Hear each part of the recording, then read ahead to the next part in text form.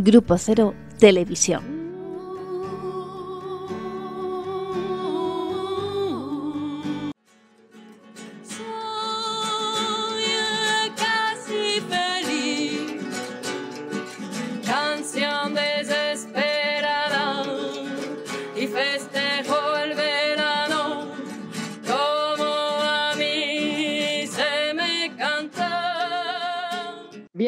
Bienvenido en este nuevo año 2024. Estamos ya en el 2024. Se ve que no tenemos las mismas caras. Mira, todo el ambiente ha cambiado. Yo hasta he cambiado de cámara. ¿Os gusta mi nueva cámara? Sí, muy bonita. ¿eh? Viste que ya estamos en un primer plano. Yo estoy morenita porque he estado esquiando, entonces el, sol y la nieve y eso estoy, mira, mira. Sí, muy bien. He estado en varias estaciones por ahí estaciones de esquí, ¿no?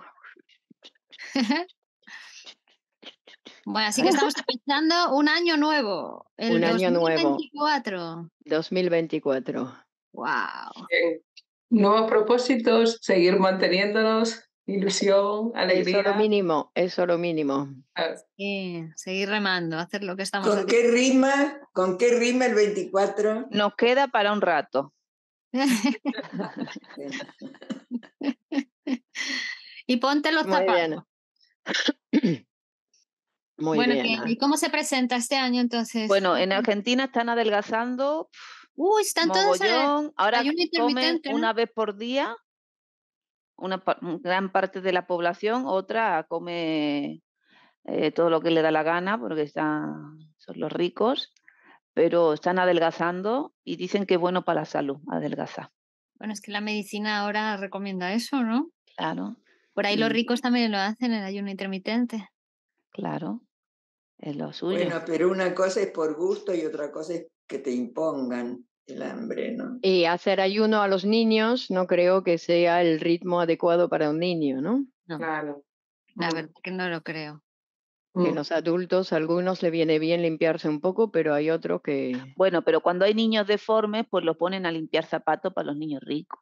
Yo no sé, la vida es así. Están los niños bonitos y los niños feos. Es que ese es el pueblo, ese es el pueblo. El pueblo es el pueblo, deformado, degenerado. Hay dar salud, educación y cultura, si mira que de deformación. Nada, nada. Los niños ricos son bonitos, limpios, pulcros, se bañan eh, con oro con, con champán.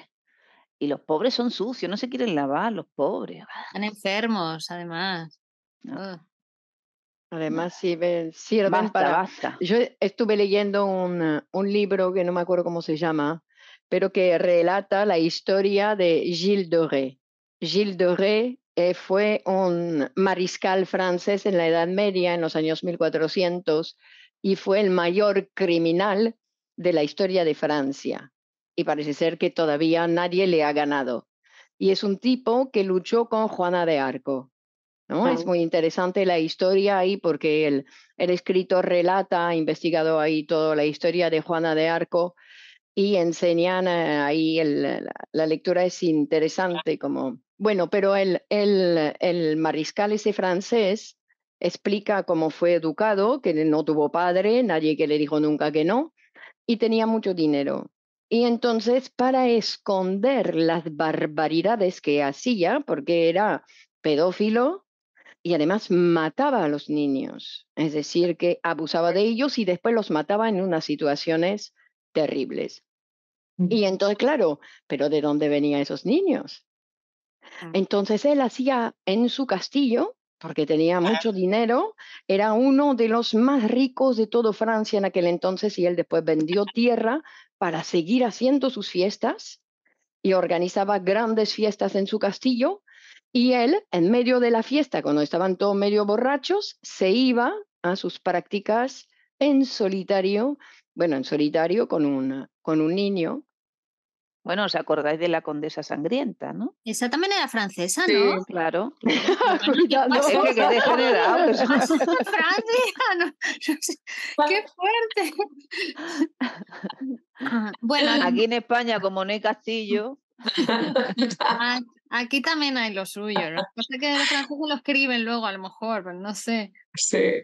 Pero yo, ah, me llamaba la atención, ¿no? Lo fausto de la fiesta, se dice así, ¿no? Como la fiesta ahí, fastuoso de las fiestas, que decía que, claro, que, que, que, regalaba, era muy generoso el tipo. Sabía que lo robaban, pero el tipo aceptaba. Digo que siempre la gente quería aprovechar de su dinero. Generoso no. Él robaba y le robaban, pero como él seguía robando, no, él no robaba, él no, robaba. Mataba, él, mataba. Será para compensar. No, no, no, robaba, Pero será para compensar esa culpa, ¿no? O como una exageración de algo que oculta, ¿no? Bueno, como dice Freud, ¿no? Personas que son muy pulcras en una cuestión, claro, determinadas cosas y luego con otras cosas las dan, ¿no? ¿Cómo se llamaba? ¿Cómo se llamaba el francés? Gilles Doré. Doré. Ré. R-I-A-I-S. Rie. Rie puede ser que se pronuncia así, pero se llama Giles. Gilles de G. Gilles de Ré. ¿Del siglo XV has dicho? En el siglo XV, sí. Y después hubo un juicio, después hubo un juicio. Y sí. Bueno, habrá, habrá, algún heredero de él. Porque si no le entrevistaba para hacer nuestro Marchand. ¿Marchand por qué? y para que nos venda los cuadros, para que nos venda las obras que tenemos. ¿Es el mayor asesino de Francia? ¿Eh? ¿El mayor asesino de Francia? No, Norma, por favor, no le traigas al teatrillo lo que nos falta. Estaba lleno de guita. De guita. Era rico. Ah, que ella ve el dinero, sí. era uno, era uno de los más. porquerías. Pero hay que tener principios también, ¿no? En, en determinadas cosas, ¿no? Uno no se puede vender tampoco por dinero. Bueno, en esta sociedad, ¿dónde están los principios? No, por eso hay que... Alguno hay que Pero digamos que esas fiestas se siguen haciendo, ¿no? Cuando hablan de Berlusconi, por ejemplo, que hacía también, ¿no? Eh, grandes fiestas. Pero no mataba niños, ¿no? No, bueno, supongo. Pero, pero digo que igual esconden todo el uso de las drogas, el uso de la prostitución y si quiere decir que se ha civilizado a lo mejor en la sociedad esas prácticas que se hacían más primitivas. No, pero eso era un caso especial, era un caso especial, no, vamos a pensar que todos en la Edad Media hacían eso. Me refiero a civilizado que hay otra manera de...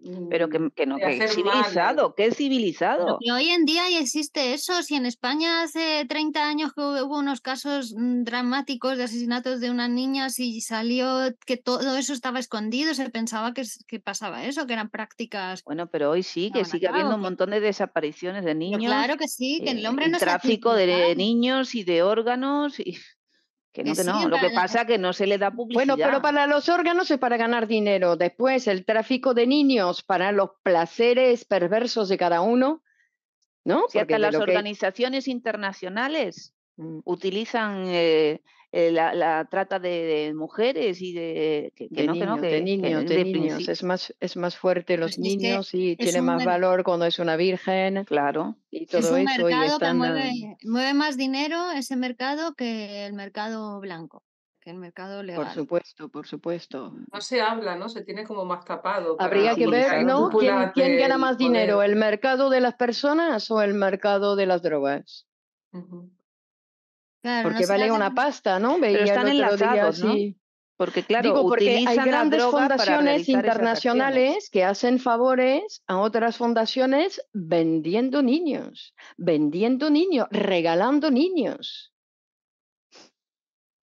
Regalan niños, ah, te voy a hacer un regalo, ¿no? Con las empresas, ¿no? Te puedes firmar un buen contrato, te regalan, qué sé yo, una raya de no sé qué, ¿no? Y hay otro que directamente te regalan niños, no una mujer para pasar la noche. La oh. perversión está en todos, en todos, ¿no? Digo, en unos más civilizada y en otros no tan civilizada. nosotros también, ¿no? ¿Y qué nosotros qué hacemos con nuestras perversiones? Hombre, nosotros nos psicoanalizamos, sublimamos, hacemos un montón de actividades durante las 24 horas. Para evitar, para evitar ese tipo de cosas, para, no caer en eso, ¿no? Claro, para que la perversión no nos lleve por esos caminos, nos lleve hacia otros caminos pero está en todos, claro, es, la, son los pactos sociales y las actividades y el trabajo lo que te puede hacer escapar de esa, de esa tendencia hacia, o llevarla hacia otro lugar, mejor dicho, porque es que es, regular la cantidad también. Es que si no caemos en el que unos son buenos y otros son malos. Mm. Y ese malo, y luego también con, su, con sus amigos, muy bueno, muy generoso, no sé qué, no sé cuántas. Bueno, ahora yo que sé, con los líderes políticos se ve, ¿no? También. uno va a matar a la mitad del país, pero para los otros es, el héroe. Es, es, maravilloso, ¿no? Claro. Qué fuerte. Además, también se dice, ¿no? En las guerras mm, hay que arrasar al enemigo. Los niños del enemigo son futuros eh, enemigos tuyos, entonces hay que arrasar con ellos. Lo vemos ahí en Gaza no, y, después la, La venganza, ¿no? La venganza, el gusto de la venganza. Claro, la guerra produce, deja ese pozo, ¿no? De, y si no son esos, se cargan a todos, van a venir sus primos hermanos de no sé dónde a vengarlos. Y es que. Pero está aceptado por el sistema todo, ¿no? Mm. Sí. claro, porque nos lo van repitiendo tanto, nos lo van repitiendo tanto que parece que esto es la normalidad. Pero es como una diferente vara de medir, ¿no? Porque para algunos está permitido y para otros no, siendo lo mismo, pero hecho de manera diferente, ¿no? Por ejemplo, con el conflicto de Gaza, Israel. Qué llamativo, ¿no? La Organización de Naciones Unidas, la ONU. Estados Unidos hace así, veto.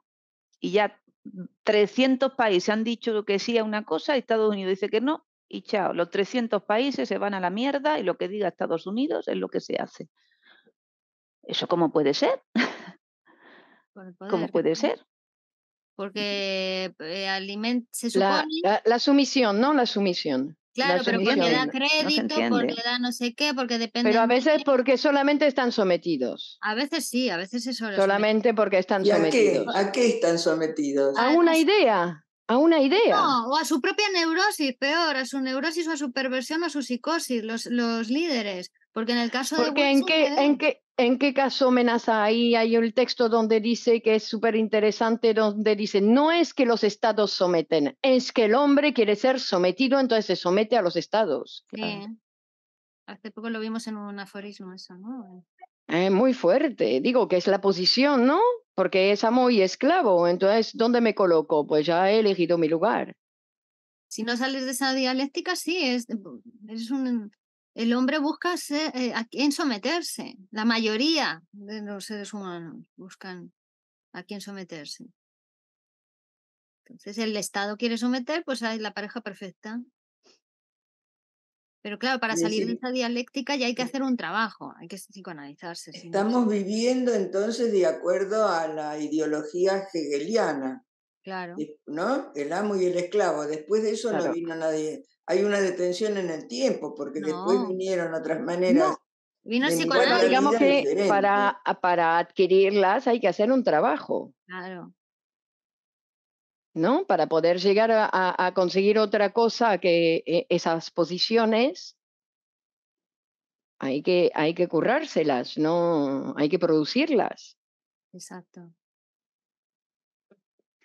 Por eso que 2024 tendría que ser un año valiente, un año de valentía. Qué bonito, porque parece un couple.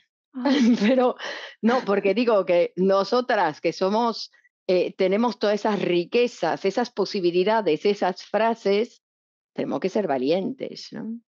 Que no sé en qué consiste esa valentía o cada uno sabrá. Escribir, escribir también, ¿no? Y denunciar la realidad, ¿no? Estaba leyendo un artículo de Menasa, ¿no? Que hablaba de que el poeta es el, el que revoluciona también, el que habla de la realidad, el que denuncia la realidad, ¿no? Mm. Sí, esa es nuestra función. bueno, tengo que decir una cosa, que nuestras arcas han aumentado muchísimo porque el regalo de la Navidad ha sido el eh, menasa hinchable.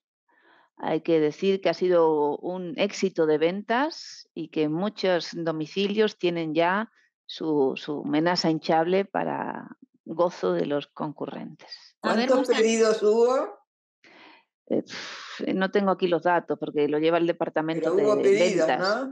Claro, claro. Estamos ahí trabajando. Bueno, también se puede comprar eh, en lugar de muñecos se puede comprar cuadros y libros de amenaza que están a vuestra disposición, que nosotras nos encargamos de embalarlos y mandarlos, es decir, que está toda la obra de, de amenaza ahí a disposición y así que lo tenemos, eh, que es más enriquecedor que el muñequito.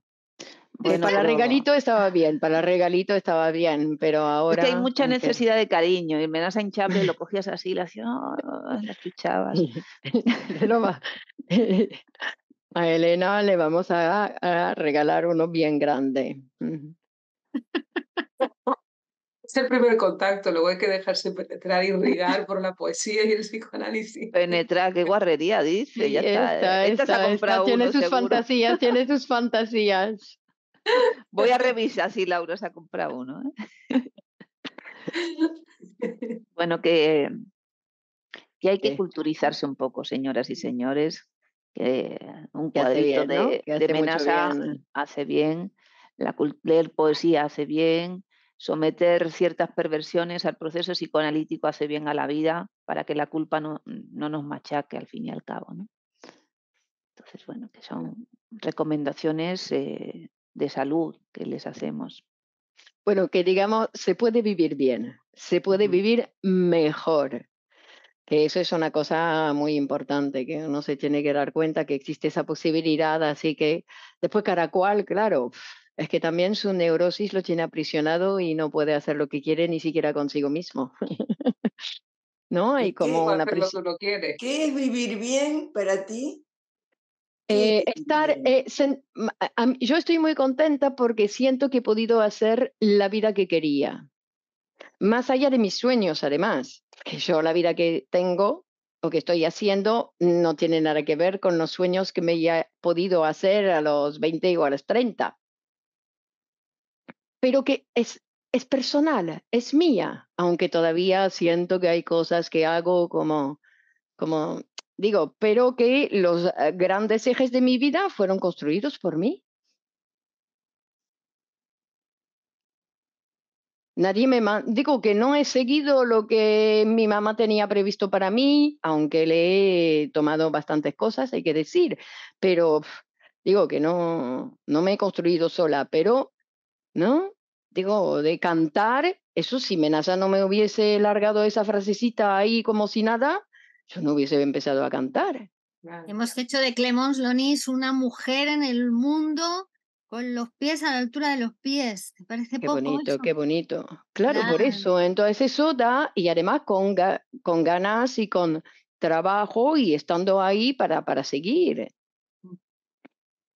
Porque, ¿sabes, Norma, lo que, y a ti también te pasa, eh, digo que no depende de la edad. Yo pensaba que llegando a una cierta edad ya está, es como que ya los dados estaban tirados y ya está, ¿no? Ya hemos tirado lo... Mm, porque hay mucha gente que mm, piensa así, ya a mi edad, ya está, lo he jugado. Yo tengo que ver lo, lo que me va a pasar con lo que he jugado. No, pero seguir jugando. Mm. Seguir jugando, seguir tirando los dados. Y todos los días. Y porque si no es como pensar que lo encontraste que lo tenés entre las manos y nada, nada hay entre las manos. Todo o, que no hay más que lo que encontraste, ¿no? Porque yo creo que hay gente que también se detiene porque piensa que ha llegado hasta donde podía. Que ya llegó. Que ya llegó. Ah. Mm, y que ya no hay ningún trabajo. ahí en juego. No es un pasado imperfecto. Es un llegar que no acaba, ¿no? Solamente acaba con la vida. Pero mientras está vivo, viste, como las hormigas, que se defienden frente al veneno que les pongo todos los días y siempre surgen más hormigas, me tienen espantadas las hormigas. ¿eh? Cómo se reorganizan, se arman de nuevo y vuelven y hacen otra cuevita. Bueno, así es la vida también, ¿no? Qué bueno. Sí, no se llega. llega el día que te mueres, ahí llegas. Es seguir viviendo en el deseo, ¿no? Claro. bueno, hay gente que nunca vivió en el deseo. Mm. Entonces nosotros ya... Todos los incurables tienen cura cinco segundos antes de la muerte. Esperemos que ustedes que nos están viendo no esperen a ese segundo final, que tomen medidas antes. Y el que avisa no es traidor, que le avisamos, le recomendamos, cada uno elige. Es otra vida, ¿no? Ayer comentábamos eso, ese ocio que hay ahora de ir para un lado para otro viendo luces, viendo no sé qué. Más fuerte. O tomando en un bar o no sé qué, es como otra vida, es una vida más, una vida vacía o una vida llena de, llena de, de deseo, de acción, ¿no? De hacer. Pero luego están insatisfechos, ¿no? Que es una vida vacía, porque eso puede estar un tiempo, luego ¿qué haces? Es que te cansas, porque es, como que eres como un corcho, una pegatina, que estás siempre en el mismo lugar haciendo lo mismo y encima algo que no te no produce nada a tu alrededor, ni en ti mismo, ni te transforma, ni te ayuda en nada. Es como un dejar pasar la vida, no sé. Mm. Es un aburrimiento. Hay una canción bueno, pero que la gente piensa, la gente piensa que eso es la vida. Es terrible, ¿no? Así acaba. Por eso que... nosotros somos, ¿no? Como, como posibilidad tenemos que enseñarnos, porque quizás la valentía también tiene que ver con eso, enseñarnos para decir, no, mira, hay otra posibilidad, no, no, no, no solamente eso, ¿no? Toda la gente que dice, ¿qué hacemos hoy? ¿Sabe qué, qué hacemos hoy? No ¿Qué dice la canción? ¿Qué dice Ajada Cruz? ¿Qué dice? Eh, busco una palabra plena. Sí. Pero después dice a cada cruz para el que no se anima a vivir. Sobre los hombros, del, que no se anima a vivir. Ajada cruz sobre los hombros del que no se anima a vivir, es decir, que le va, que le va a golpear en algún momento, ¿no? Pero después hay, mm, hay vidas, no sé, yo estoy, mm, perdona, pero estoy pensando en mi padre, por ejemplo, que es un señor que tiene 87 años y que mm, ha hecho muy poco en su vida, un padre de familia, correcto, correcto, es verdad que el tipo ha sido correcto de principio a fin, pero nada más. Y el tipo está feliz y no pide más para su vida. Pero nunca pidió más de lo que había, ¿no? de lo que produjo, digo que eso fue lo que produjo, pero no tenía ninguna ambición, solamente lo que produjo, estuvo siempre en en acuerdo con su deseo, con lo que tenía. Bueno. Bueno, pero vos no sos como tu papá, ¿no? Será la vida de tu padre, claro. Sí, pero lo tomo como ejemplo para, porque lo tengo ahí y digo, mira, pero que no, no se aburre, ni está siempre contento, ni se queja. Lo que pasa que Clemons, hasta que no le den el Wishing Center, no va a estar tranquila. Se va a quejar. Eso es verdad, eso es verdad, eso es verdad, eso es verdad. Y después del Winston Center dice, yo sueño con eso, lo tengo, lo tengo que confesar, sueño con una, una gran plaza, un gran público para poder eh, cantar, que tengo la energía para eso y así que sí, eso sería muy lindo, ¿no? Bueno, una, hacemos un llamamiento a todos los productores del mundo, si quieren asociar con el gran productor que es el Grupo Cero. Eh... ¿Vieron que necesitamos un Marchand? Decir que el francés ese que tenía tanto ah. dinero se murió, ¿no? Pero... Hay uno que le quería dejar el dinero a su jardinero, Hermes, ¿no? El... Sí. Claro, no saben a quién dejar la fortuna. Bueno, ya lo vamos algo a hacer. que produzca salud y Ya lo vamos a hacer, Clemons. Ya te vamos a llevar al Wishing Center. Bueno, contigo, ¿no? Claro. Digo que tenemos que poder estar ahí, ahí enseñar ahí nuestra, nuestra arte y las letras de amenaza. Sí. Digo, porque tiene esa, no solamente es la belleza, sino es el alma, es como un alma que uno va cantando y va repartiendo almas y es como Mira, agarra un alma, agarra, agarra, que es para ti, es un alma tuyo. Ahí hace falta la valentía que nombrabas al principio para el 2024, ¿no? Que hay que ser valientes o hay que tener el coraje de mostrar esa desnudez de tu alma. ¿Eh? para que otros se apeguen a ella, la amen, la quieran, la desean, ¿no? La deseen.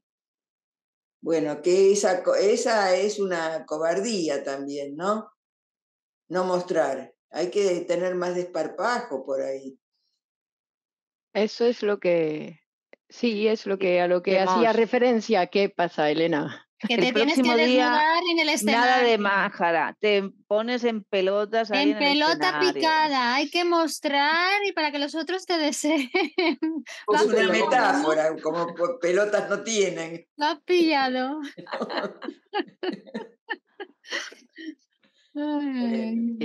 Bueno, que seguimos, estamos en el 2024, felices, que hemos pasado ese puente del 2023 al nuevo año y que seguimos en Grupo Cero Televisión, pues con, nuestros proyectos vigentes y como ustedes saben, si somos más podemos ser mejores, así que súmense a las propuestas. No lo duden.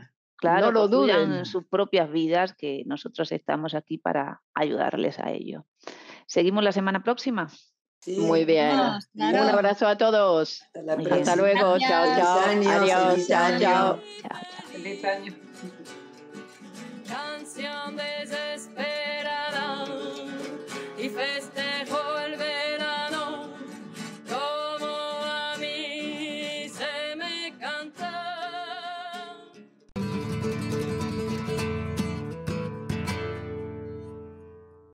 El lema de Grupo Cero es, si somos más, podemos ser mejores. Cada semana quedamos, conocemos a poetas, nos intercambiamos, reflexionamos juntos, siempre en buena compañía. A leer, aprender a leer y escribir poesía es un, es un reto muy bonito.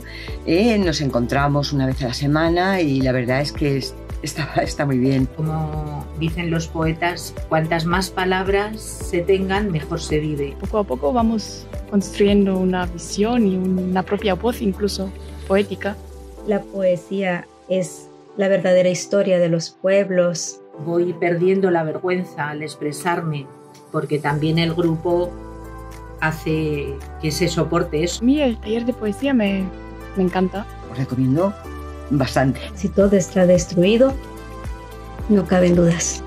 La única posibilidad es poética. Es una experiencia nueva.